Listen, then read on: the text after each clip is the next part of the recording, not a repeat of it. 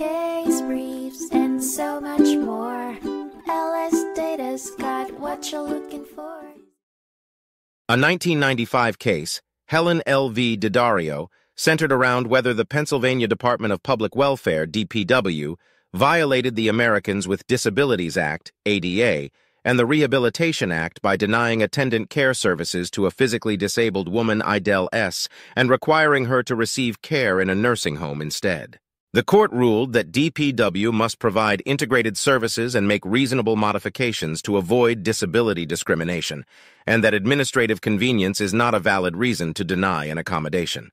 The court further stated that DPW could not use separate funding for nursing home and attendant care programs to justify discriminatory administration of its attendant care program. Initially, the district court ruled in favor of DPW, but the judgment was later reversed on appeal. The case was then remanded to the district court, which granted summary judgment in favor of Idell S., forcing DPW to comply with the ADA and provide the necessary services. Case briefs, and so much more. LS Data's got what you're looking for. Visit lsd.law, elevate your mind. Leave the stress of class.